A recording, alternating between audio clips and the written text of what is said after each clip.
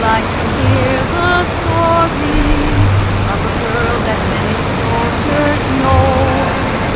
It's a tale of love and all its glory. They tell when the lights are soft and low. Underneath the lamppost by the barricade, standing all alone, every night you see her wait.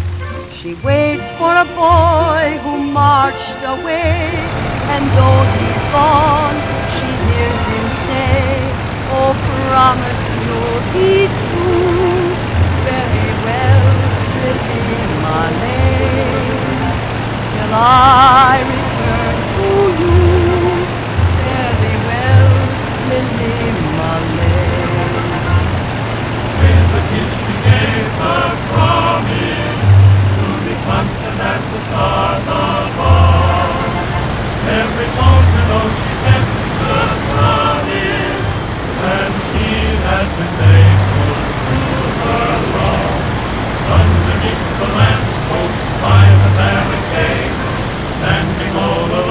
every night to clean away.